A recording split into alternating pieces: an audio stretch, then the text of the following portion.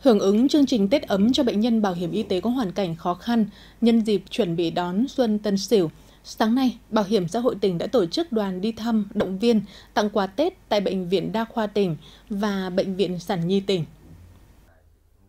Tại hai bệnh viện, lãnh đạo Bảo hiểm xã hội tỉnh đã trao tặng 30 xuất quà, mỗi suất trị giá 500.000 đồng cho những bệnh nhân tham gia bảo hiểm y tế có hoàn cảnh khó khăn phải ở lại bệnh viện điều trị trong dịp Tết cổ truyền của dân tộc. Chương trình là một hoạt động xã hội nhằm phát huy truyền thống văn hóa tốt đẹp của dân tộc, huy động sự chung tay chia sẻ của công chức viên chức người lao động trong ngành bảo hiểm xã hội, hỗ trợ những bệnh nhân bảo hiểm y tế có hoàn cảnh khó khăn, qua đó lan tỏa tính nhân văn nhân đạo, chia sẻ của chính sách bảo hiểm y tế trong cộng đồng xã hội, góp phần thắp lên niềm tin hy vọng vào cuộc sống cho các bệnh nhân. Đây cũng là hoạt động thiết thực của ngành bảo hiểm xã hội Ninh Bình, hưởng ứng phong trào thi đua cả nước chung tay vì người nghèo, không để ai bị bỏ lại phía sau.